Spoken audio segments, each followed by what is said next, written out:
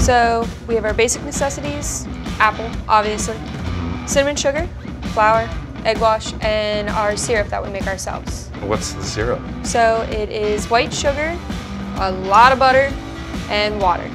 And we just cook it until it all melts together. That sounds really good. I'm always trying to up my game. So I came down to Hollabaugh Brothers Farm and Market in Biglerville to learn how to make an apple dumpling. Where do we get these cool hats? Ah, all right, I got one for you. All right, good. you got to keep my my long, beautiful hair out of this apple mixture. How's that look? Looks fancy. Good? Yeah. Okay. Do you ever wear a hat on a hat? No, this is the first time I'm seeing it, to be honest You with might you. want to try that out. Okay. The truth is, I don't know a measuring cup from a mixing bowl. But I do know one thing I look good in a hairnet. I'm Steve Ford, and I was born and raised right here in PA. I'm lucky enough to know a lot of the hidden treasures and tasty treats sprinkled all across our state. Yes. But I don't know them all. So I figured it was time to hop in the car and take a road trip to see what I might be missing.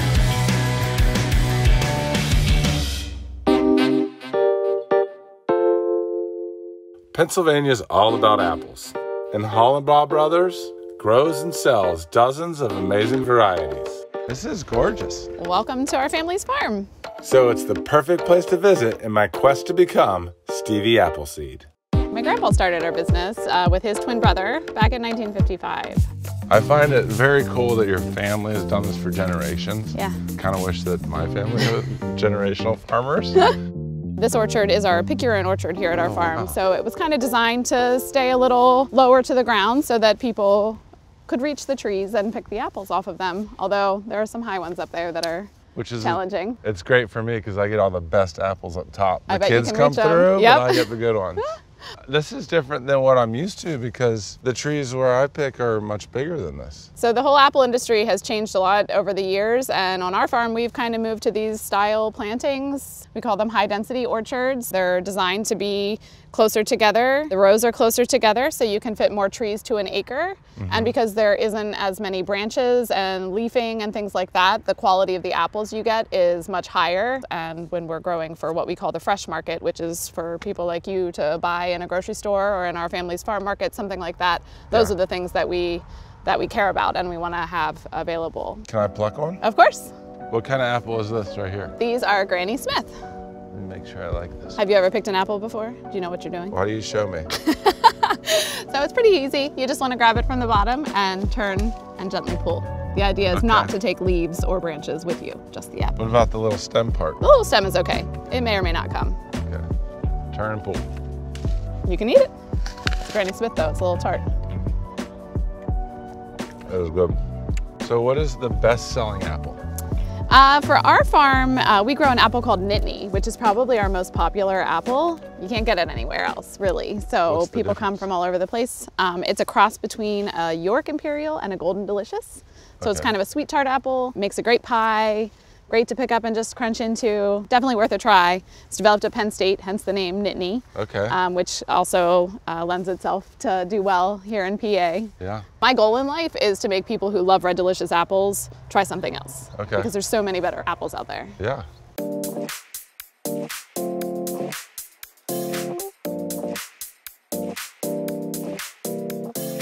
I mean, it's amazing how many things you can make with apples. Apple dumplings, crisps, pies, Yep, we made- cobbler, Yep, we do the cobbler, we do muffins. caramel apples, Yeah, caramel apples. ciders. Yep. What's your um, favorite? Apple dumpling or an apple pie. Nice. Clearly, there's a lot of different apples and a lot you can make with them. And in this case, it's the perfect apple dumpling. And then the syrup, you want to just cover. Do you ever just drink the syrup straight up? I mean, you could. Personally, I haven't tried it yet, but you're right ahead. Woo! Watch out. It's a sugar Yeah. high. Yeah, there's about probably three quarts of sugar. This is delicious.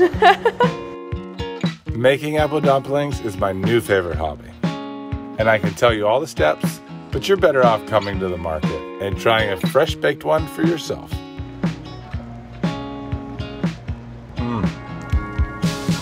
So nice and warm. It's like cinnamon, sugar, and sweet. I want to think it's still healthy. You can tell yourself that every Yeah. bite. This is good for you. Yeah, it's amazing. This dumpling is incredible. But at Hollabaugh Brothers, you don't just eat apples. I heard you drink them too. All right, so we're making our apple cider donut milkshake, which you start with a base of vanilla ice cream. So you're just gonna scoop five or six scoops. But it turns out a milkshake on an apple farm is gonna have a twist. This is where it gets different because normally this would be your milk. Right. Apple cider, donut crumbles, and mix it up. And it's almost time to dig in. So grab a donut, apple cider donuts, pop it on top. I'm very excited.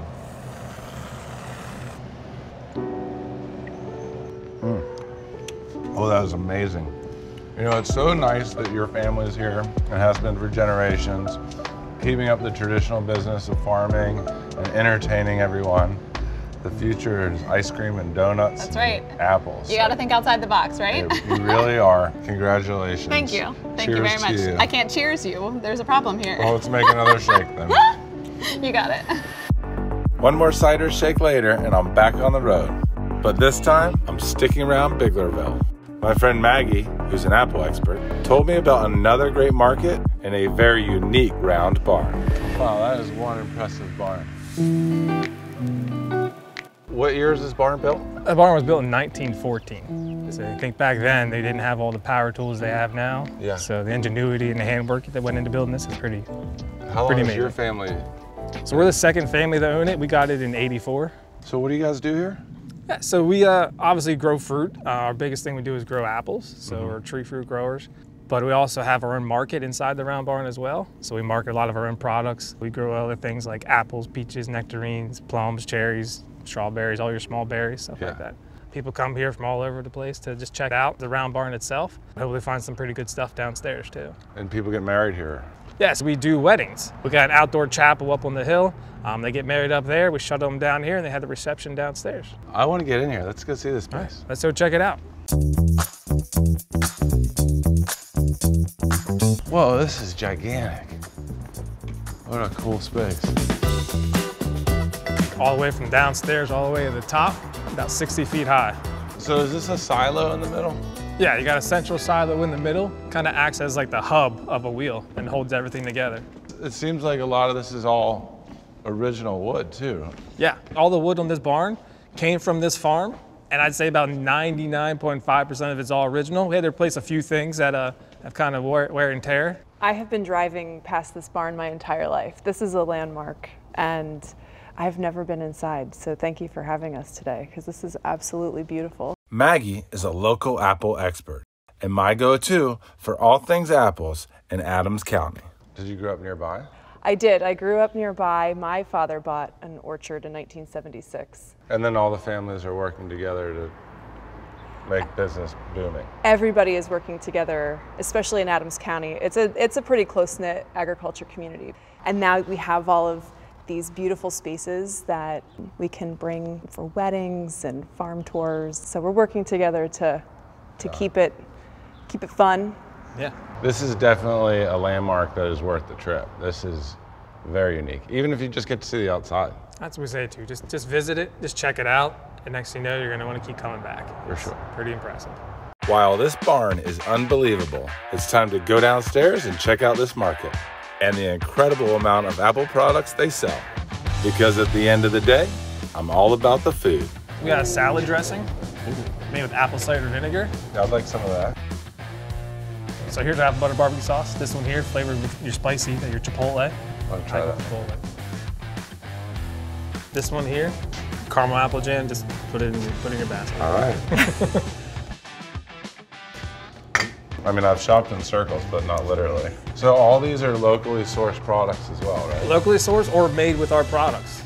Caramel apple bar. Ooh, a baking mix. Can we try some of these? We can try some of this stuff. Yeah. Mm, let's just go open these up. Ah, get I'm right ready. to it. I'm hungry. All right, we'll get the apple butter. I like to eat inside the grocery oh. stores. I'm thinking maybe we should try the apple butter first. Sure. Start with that. What's yours? Mmm. That's so good. No sugar added with spice. It's fresh. It's like refreshing in your mouth. It's got full apple flavor. Something Yeah. different, something for them It's to got a little zing to it, like a little bit of that spice. A is bit of spice, right? Just a little spice. Is it okay to eat a whole jar of apple butter at once? Ah, you can maybe try. I never tried it myself. Well, let's try some cheese. All right. And this cheese has apple in it. Yeah, this is a apple cinnamon cheddar cheese. Wow. So yeah, try the cheese by itself. Mm. and you can actually, uh, those are apples in it. You There's can see apple the apple in it. Yeah. So then what I like to do is add a little caramel apple jam on top of all that and put it all together. Mm. Nice little appetizer. Ooh, cheese and sweet and salty. I'm excited to try this. This you said this is your favorite? Yeah, I like caramel a lot. So again, take a nice apple jam, add a little something extra to it. A little sandwich with some Okay. cheese. A little more sweetness to it, a little smooth almost. Oh, it's very sweet. Mm-hmm. It's like candy. It is. But with the cheese and the cracker, you get a whole Right. really happy explosion. That is Well, delicious. I'll try it with the cheese. Mm. Maybe I'll just no. Right. This is good by itself. Exactly. Wow, Thanks for pulling that one out. Yeah. That is a party. You can really find an apple culture while traveling through Pennsylvania. Not only are multi generational apple farmers continuing time worn traditions, but they're also introducing a new generation of apples to the next generation of apple eaters. So, if you're looking for a new twist on this tasty treat, it might be time to hit the road and see what Pennsylvania's apple growers are cooking up for you to try.